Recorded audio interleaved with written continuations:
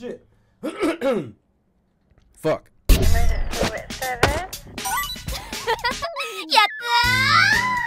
YouTube.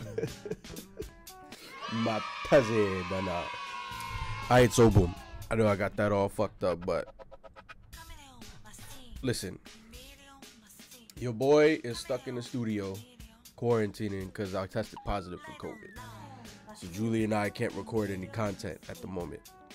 So I figured I'm always talking about the Bronx and stuff, right? Let me just give you a story about a time where I got beat the fuck up in the Bronx. So, um, let's do it, right? I know y'all probably like, what? That's so fucking random. like, this is an anime channel, and I'm over here talking about how I got beat the fuck up in the Bronx. But hey, man, there's a lesson behind it. Right? So check it out. So I'm from the Bronx, New York.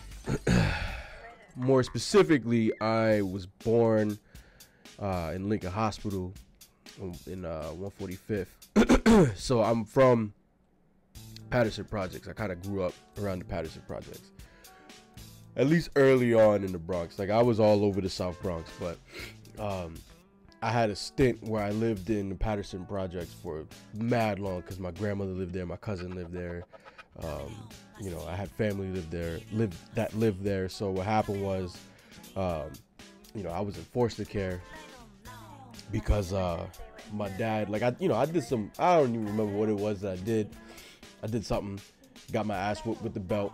I got hit by a car, um, and when I got hit by the car, uh, you know, when the, the you know EMTs is like examining me and shit like that, they saw that I had like belt marks and shit like that, like scars.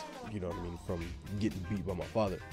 I know that just sounds mad personal, but don't worry about it. We'll like we'll, we'll get to it. We'll get to it. so I ended up getting taken from my parents and uh, put in foster care and uh, they were kind enough to let us stay with my grandmother versus uh, like so we stayed with strangers at first but then they sent us to my grandmother's because my grandmother was like yo I'll, I'll keep them so um, you know i was very thankful for that because i knew my grandmother you know what i mean? So my first week there right so i'll show you where, I, where i'm from right? So this is where I'm from. 145th Street, 3rd Avenue.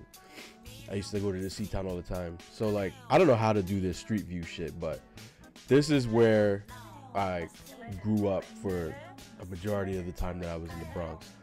So um we lived right in here. So like when you came in, you came in right through here and uh I was like right along this area in the first floor. That's where my grandmother lived right? And then down here, there's a school that I went to for literally about a week or so. I wasn't in that school for very long. Um, I ended up having to leave that school because of the story that I'm telling you about, right? So I was like a hothead, had a chip on my shoulder, you know what I'm saying? Like had this, you know, you know, my dad is this big tough dude, you know what I'm saying? I'm thinking like, you know, I'm tough too, right? So I considered myself a, like a bully.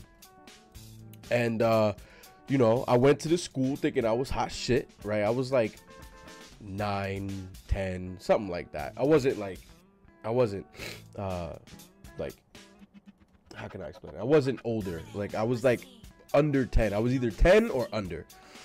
So I go to the school here, PS 18, the schools that I went to was CS47. That was the school that I like went to. But you know, we traveled. We not traveled, but we moved a lot in the Bronx because of my parents' relationship and shit like that. So, you know, I was always in the South Bronx, but it was different schools in the South Bronx. Um, the, the school that I graduated from was 22. Uh, is it CES 22? I think it's called, and that's all the way on the other side, but it's still in the South Bronx. Uh, but that's the school that I graduated from. I did seventh and the eighth grade there. But that should tell you, like every every year and a half, I was in a different school. But anyway, I digress, right? So I was in the school here, and uh, I'm coming out, and bef- but this wasn't a uh, baseball field when I went there. Like this was a long ass time ago, but this wasn't a baseball field when I went. Um, excuse me. So since this wasn't a baseball field, this was an open like the Bronx has a lot of like or had a lot of concrete playgrounds with nothing in it. So there was nothing here. It was just a slab of concrete. Uh, I don't even remember if there was like basketball hoops. There might have been basketball hoops, but I don't remember. It was so long ago when this happened, um, and I ended up never going back to this fucking playground again. The crazy thing is, is so like this. I lived right here, and right here was this place called Tony's Gym, and this is where my love for for wrestling came. The whole area was covered in mats.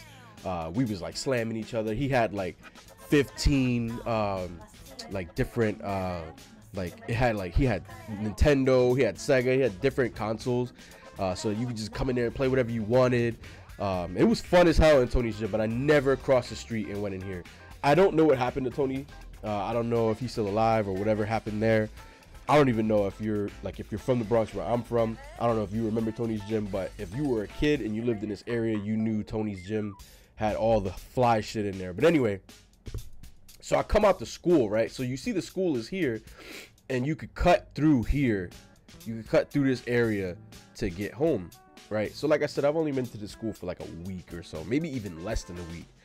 Um, I came out, and uh, this kid had like bumped me or some shit like that. Like I don't know what the fuck I was thinking, but this kid had bumped me. Um, and uh, how do I get rid of this shit? There we go. This kid had bumped me and I clearly overreacted and took it way too far because I was trying to like, you know, show that I'm like this big buff, like ugh, even though I was this small, big-headed kid. So I forgot what he said to me. You could tell the kid didn't want any smoke. He didn't want nothing to do with me. Um, you know what I'm saying? Like he was just like, like I, you know, I'm sorry. I'm trying to fuck off, and I was like, Nah, son, you won't fucking catch these hands. Like, we didn't say that back in the day, but just so you have an idea, I was like, nah, nigga, take your bag off. I'm a gangster, la la la la. I was going ape shit, right? So I'm running my mouth to this kid, and he's steady trying to leave, and I, sh- I should have let him fucking leave, but there was a lesson in this. So, uh, I, I rip off his backpack. I take my backpack off, and uh, I start kicking his ass. Now, when I say I start kicking his ass, I don't mean like you know bloody. Uh, uh, you know, like as a kid, we was wrestling, like we was tussling. Like I, you know, I was throwing him, and he was, you know, grabbing my shirt and shit like that, right? So as this is happening, I guess like you ever played like Gears of War or something like that, where it's like press Y to focus on an object. There's this kid, and I see him. So we're like fighting like right here. There's a kid that's walking from here all the way in to here and I'm watching him as I'm like wrestling with this kid, because uh, we didn't throw punches, or at least I didn't throw punches back at this time. Like there was no punches thrown, and I'm watching him walk in with a purpose. Like he had a, he didn't look at me. He just walked in with a purpose, and he came into this fucking this yard. And he grabbed me and he beat the shit out of me, bro. That kid whooped my fucking ass, bro. That was the first and only fight I lost in my entire life. Like one on one fight. That's the only fight that I've lost in my entire life. I've gotten to a lot of fights, bro. I've been jumped. Um, you know, it's it's you know, it was I got into a lot of shit in the Bronx. And I feel like anybody that's from the Bronx probably had that same sort of experience, unless like you I don't know, you dodged the bullet. But bro, I got into a lot of fights and this one was my fault, but the other ones, the majority of them were not my fault because after this, I didn't start trouble or problems with anybody else. But anyway, he beat the like dragged me through this whole fucking playground, dog. Um, and then I get up, right? I get up like, oh fuck this, right? Because I tried to fight him and I just could not fight him. He was he like he was just too fucking I don't know what it was about this kid, he was just too strong, too fast, too like nimble. I there was nothing I could do. I like I don't even want to say like I was tired or nothing like that. Like he just whooped my fucking ass. Um anyway, so I uh I grab my backpack and try to put it on and I'm like walking away like I'm walking away like, yeah, nigga, fuck you. Yeah, you a bitch. Like talking crazy shit with my backpack on. And he fucking grabs my backpack and throws me back to the ground. And he starts fucking me up some more. this kid whooped my fucking ass, bro. So now we both live in Patterson Projects. He lived in Patterson Projects. I live in Patterson Projects. Like we both live in Patterson. I lived here, and I think he lived like over here or like over here. It was one of the two because I never saw him because you know when you come out, I come out at the Third Avenue is right here, right? So when I came out, I never had to go this way. There was no need for me to go this way for anything.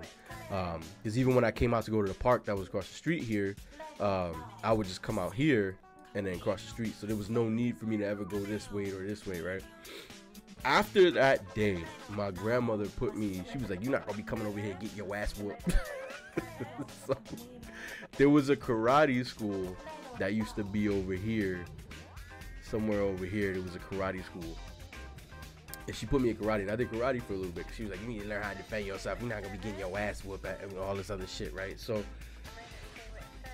that was the story of like when I got my ass whooped. So, uh, you know, I lived here for a little bit. I started venturing out more and more around the area, and then I started getting into more fights. I ended up moving from out of here, um, and my parents got custody of us.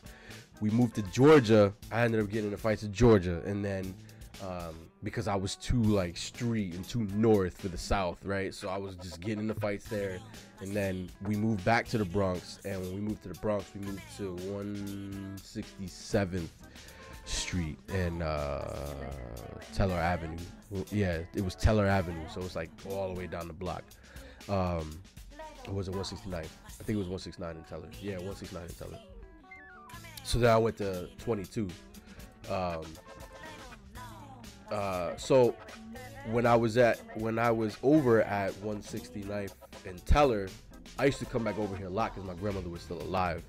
Um, fun fact: I had my first kiss over here, but um, my grandmother was still alive at the time, so you know I would always come back to this area. Now, mind you, I've been all over the Bronx at this point. I've been uh, not I'm not gonna say all over the world, but I've been in different schools like every year to year and a half. I was in a different school, meeting different people, fighting different people. Um, and like I said, we would I would fight for like various reasons. Like I have like if you ever meet me, I'll show you. I have like scars on my hands from like different fights I was in. Um, because I had this thing where I like to punch people in the teeth. It's stupid. We'll talk about it another day, but I love punching people in the teeth. So I have scars from punching people in the teeth. But anyway, um, it's the dumbest shit ever. Don't fucking, don't try to rationalize it. I can't rationalize it. That's just what I did. Uh, but anyway, I came back here and the roles reversed. So I, I, I went from this point forward. I never threw the first hit. I never bullied anybody. Um, you know, let me not say never. I probably did throw the first hit at one point, but um, I wasn't a bully anymore. Like I wasn't looking for like yeah i need to fucking show myself because like it just always found me so um i came back here and the dude i don't want to say his name because i don't know if like i don't want to cause no problems but uh i saw him again now i'm like 16 i'm like real deep like deep in the streets at this point um, and it wasn't like what it is now. Like the streets of the Bronx now is nowhere near what it was when I was growing up. Um, it was bad, but it wasn't like woof, what it is now. It's crazy. But anyway, um, I came back and I came. I was walking through here to go see my grandmother, and dude was sitting right here. So people put their garbage here, uh, right here. They put their garbage. So there's a gate. Like you can walk in, and then there's a gate here, and then the garbage here, and then you walk through here he was chilling on the gate. So the only way for me to get past is to, you know, go through him. Um, like I said, I'm 16 now, and nigga, I'm petty as fuck. So I see him, and I'm like, I'm I'm like wishing deep down in my soul. I'm like, bro, please, please say something crazy to me. Say something. I've been waiting for this, right? So, um, I forgot what he said, but he like stepped, like he, you know how, you know how if you're from anywhere that's crazy, you know when you're about to get robbed, right? Somebody, you know, they, they come out acting all weird, they get behind you acting all weird, or they're in front of you acting weird, or like they kind of get in your way. You know what I'm saying? Like, you you if you've been in that situation, you know what I'm talking about. So I'm walking through, And in the Bronx, if you looking at somebody in the eye, you gotta maintain eye contact, otherwise you a bitch. At least when I was there. Um, I don't know what it's like now. I haven't been there in a while. Um, but yeah, so I'm like maintaining eye contact with him because he's like looking me dead in my face. So I try to like walk by him and he put his foot out and like put his hand on my chest, like, yo, where you going, son? Right? Um, I don't know if he remembered. I don't know if he forgot. Well, at this point, um, I don't know if he remembered or not, or if he remembered me because I'd been gone for a few years. At this point, I had been gone from this area. Um, so like I've been back and forth, but we never like crossed paths. So, but I didn't live in the area anymore, so he didn't see me every day. You know what I mean? So, um, even after he like fucked me up, I didn't see him again. right? Like nigga vanished. Um, but anyway, so he like puts his hand on my chest. Yo, where you going, son? I'm like, yo, I'm going to the fucking building. Like, uh, you can you can hear it in my voice that I was like, you know what I mean? Like I was ready, cause like if if I didn't want if I didn't want any smoke, I'd have been like, oh nah, you know, I'm just gonna go see my grandmother. I don't want no problems. Like, you know what I mean? Like put my hands up or something like that, not look at him, look away. You know what I mean? Like something or go around, which um, you can't go around. To go around, you have to go through here, and then you got to deal with like everybody else to get here. So when you get off the train, the train is all the way over here, so you got to come down and then in here, right? So there was there's no point for me to go all the way around, so I had to go this way. You know what I'm saying? Any other way was just extra fucking long, and I just wasn't gonna do that. And I wasn't jumping no gate to get over, so it is what it is. So I was like, I'm gonna go see my fucking grandmother, like some shit like that. To go see my grandmother. Like I had mad bass in my voice. He was like, Yo, who you talking to, son? And in my brain, I'm like, This is what I needed. This is what I needed right here.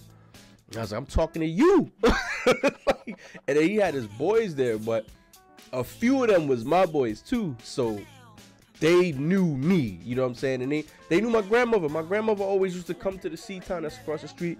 You know what I'm saying? To get her little her pork cracklings and her fucking Pepsi Cola is what she called it, right across the street. So they knew who my grandmother was and they knew me, right? But he, I guess, you know, at the in that moment. So I'm talking to you, son. And he's like, nah, you ain't talking to me. And he grabs my fucking my jacket like this. It was woo curtains curtains, bro. When I say revenge was fucking swift, nigga. And then at that point, we was throwing fists. Like there, like there was no like, like sure there's tussling and shit, but we was throwing fists at this point. And I fucking hit him smooth across the face. Boop. I was known for uh whenever I did hit somebody, it was quick. Like my jab was like, wow, you never really saw it. Even like when when people was with me, they never got it. They was like, oh shit, like you never knew. It was like it was just boop it's not like that now. I'm old and fucking slow, but before my hands could be down here and I would just bow. You would just get hit with that shit. So I hit him smooth across the face, and he hit me back, and then we just start boxing. Boof, boof, boof, boof. Um, and then I ended up I ended up winning that fight. Um, and I threw his ass in the the garbage. Is that's why I made the point about the garbage because the garbage is usually right there, and I just took him, threw him in the garbage and we start fighting in the garbage. Like it, it was so fucking stupid.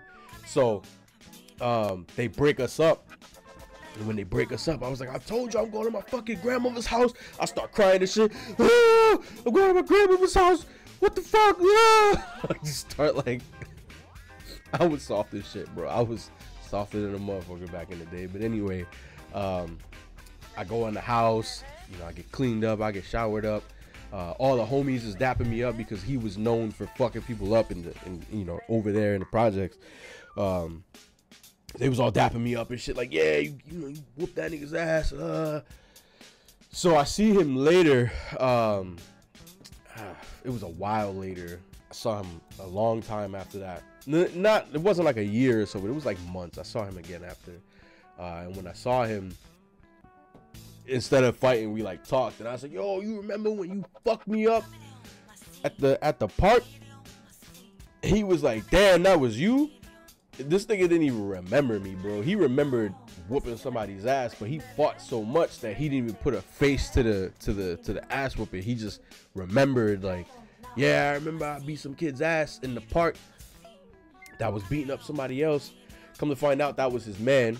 Um, I was beating up his man. It was either his man or his cousin or some shit like that. And I was beating up his, his cousin and he didn't like that shit. So he came in, like he saw me, like they were supposed to meet and then walk home together. And I stopped him because um, he didn't go to this school. He went to a different school, I believe. I think he went to, um, I think he went to this school. There's a school over here. Uh, where am I at? There's a school. Like, yeah, no, there's a school somewhere. Yeah, I think this is it right here. Um, I can't remember, but he didn't go to this school, so they were supposed to meet here and then walk back home. So he was coming from up here to get him, and that's why he came into the to the gate and just like destroyed me. So he was like, "Yeah, nah, I remember, I remember beating some kid ass, but I didn't know it was you." And uh, not that it made a difference. I'm sure he probably like I'm sure he wouldn't have thought twice. He probably it probably would have gave him a fucking buff because he's like, oh, I already beat this kid before. I'm gonna beat him again, right? Pause. But yeah, man. So that's the story of like how I got my ass whooped in the Bronx, bro. Like I got fucking. When I say he kicked my ass, bro, like I had like scrapes and I was all fucked up. he kicked my ass, but man, I got stories for days, especially for this area, man. Like I spent a lot of time in this area. Um, but like shit didn't start getting real. Like when I say real, I mean real. Shit didn't start getting real until I moved to Teller Avenue and 169. When I got to 169 and like Sheridan and all that shit, that's when shit got fucking crazy, bro. Um, like, you know, typical Bronx shit. But yeah, man, hopefully you enjoyed this video. I'm just trying to give you guys some content. Um, if you see this video and you're recommended and you know you see it in in, in other um, areas and then you click my channel and see that it's just an anime channel keep in mind that this was just a, a video to keep you guys satiated until I beat this COVID shit um, and that Julie and I can get back to recording. But if you like these stories, let me know, and I'll. I have no problem. Like it's hard for me to be embarrassed. You know what I'm saying? So I have no problem doing another story of um, me getting my ass whooped or other fights that I've been into or like you know interactions with the law and all that stuff. Like you know, typical hood shit. So times I got robbed. I got robbed so much. Uh, but anyway, it made me the person I am today, right? Um, and I, am grateful for those experiences, by the way, because like without them, like you know, I feel like I would be a pushover, and I'm just not a pushover. I know what I want, I know what I want to do, and I'm gonna do it, right? So, um, I don't appreciate the people that did it, but I appreciate the experiences, right? So if you like these videos, like let me know. I'll do more videos like this. I have no problem doing videos like this um, because I like telling stories. But hopefully you enjoyed. hopefully you got a kick out of it and uh, you know helped you waste some time. You know, and uh, don't forget to like, subscribe, hit the house bell so you don't miss out on any of our videos. Check out our Patreon, and uh, see you in the next one.